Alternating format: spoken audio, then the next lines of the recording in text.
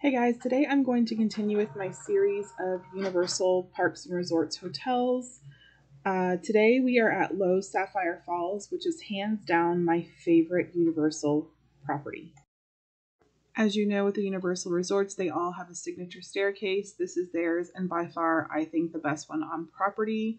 The next few pictures are of Strongwater Tavern, which is their little bar that they have kind of off to the side in their uh, welcoming area and it had nothing but rave reviews. I've heard a lot of people say that they have some of the best drinks on property. I think my strong ties to this resort is the fact that my father does live in Puerto Rico and it does have a very Caribbean feel. The pool of all the pools seems the most relaxing. I believe it is one of the biggest pools on property. They also have a thousand rooms, including 83 suites. So the property is big. There's definitely a chance for you to get the room that you want there. They have lots of entertainment within the park, within the bars, within all these outdoor seating areas to have either a drink or an appetizer or something like that. I've also heard that the restaurant downstairs, the Amatista, I'm probably going to say that wrong, has some of the most authentic Caribbean style food. Also, the Dutch Trading Co., their little grab and go option, it is one of the cutest little pop ins that I've seen in a resort. The rooms here are absolutely breathtaking. They do truly remind me of being in the Caribbean. The only thing that I can say within this resort that I wish that they had is I obviously wish that they had the unlimited express pass included. I think that that would be an asset to this resort. However, if you are going to a park and you're getting a three park, maybe buy two, get three day ticket, this would be the perfect place for you where you're going to have a more leisurely vacation and you can enjoy all the amenities that are here. This resort does feature a gym. It also features an arcade for the kids if that's something that you're interested in. The pool does have a slide, and just like any other Universal resorts, make sure that you look for the Cabana Hut. They typically have complimentary water, sunscreen, diapers for the babies, things like that. Uh, they're super, super helpful, and that's what I really love about the pools at Universal. And of course, you can pool hop if you decide to go to any of the different resorts. This again is that beautiful signature staircase. It's truly breathtaking. And then this piece is when you walk in and it is massive. I forget how big they said it was, but it is not a ton, but it's it's a very very heavy structure that they have here in the welcoming area when you come in.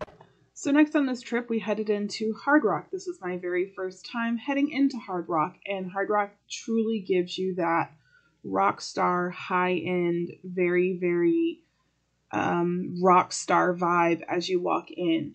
You can go to pretty much any area of this hotel and see tons of very, very cool merchandise and uh, costumes and instruments and things that these celebrities have worn, used, etc. It's a it's a very cool place for somebody who you know has that interest in celebrities and music and things like that.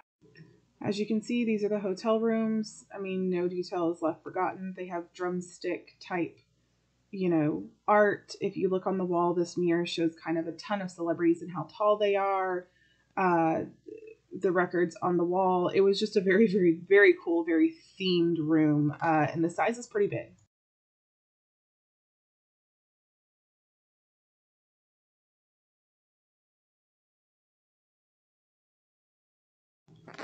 They do have a concierge level here.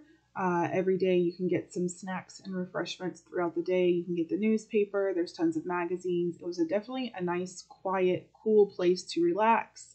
And we definitely saw lots of families taking advantage.